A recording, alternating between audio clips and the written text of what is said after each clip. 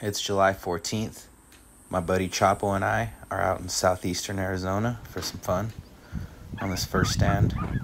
We had one come in that I missed, and this is the second dog coming into pub three. My buddy is still behind the camera, so we were able to capture me shooting, but no luck getting a kill shot. Maybe next time. We're shooting uh, Varmageddon out Got of him. the Got Black him. River. Oh, Fred Eichler series. Redemption. and the Swagger fuck. Bipod. I wasn't steady. Yeah, we're gonna keep it rolling. Try to get another dog down. Let's keep rolling. Not before we get some lunch though. Sandwiches and Rudy's barbecue out here in Arizona cattle country. So this next stand, it happens pretty quick. Not sure if you can catch it, but this is one of our favorite sounds. If you know what it is, then you know what it is.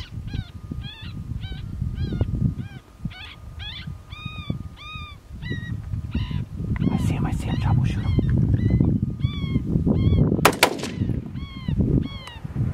I think I shot him before you. Yeah. Yeah.